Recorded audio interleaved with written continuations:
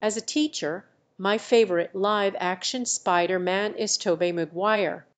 He portrayed the character with a good balance of intelligence, vulnerability, and determination.